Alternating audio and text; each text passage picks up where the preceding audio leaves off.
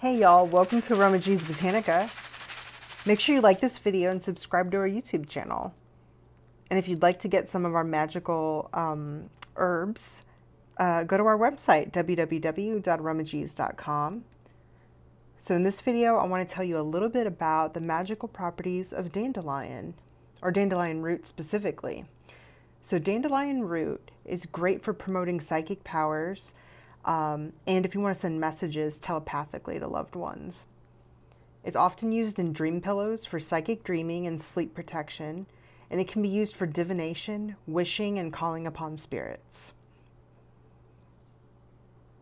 You can brew it up into a wash and use it that way. You can put a little bit of this into a, a candle if you do candle magic